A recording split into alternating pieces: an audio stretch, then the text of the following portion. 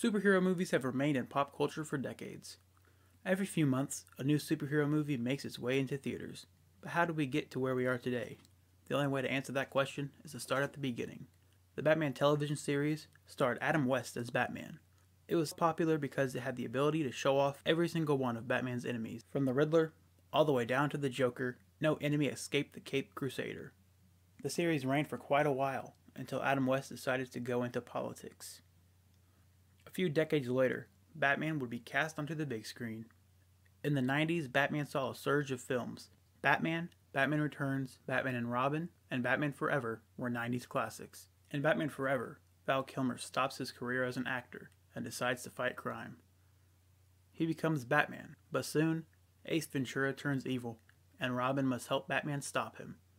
In Batman and Robin, Batman is now George Clooney, but Robin, who is still the same person, doesn't even notice.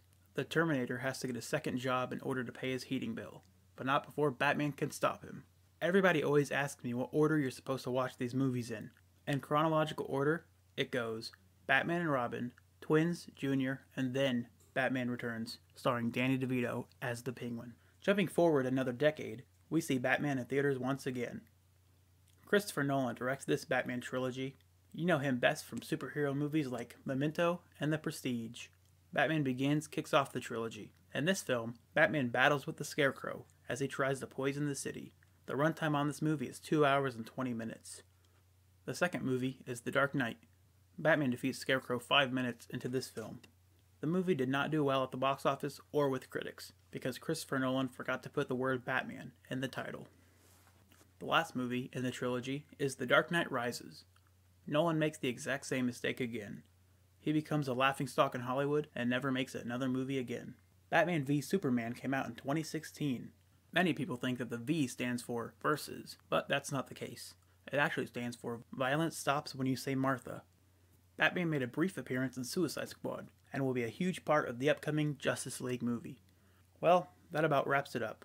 All the superheroes over the years have been a lot of fun to watch.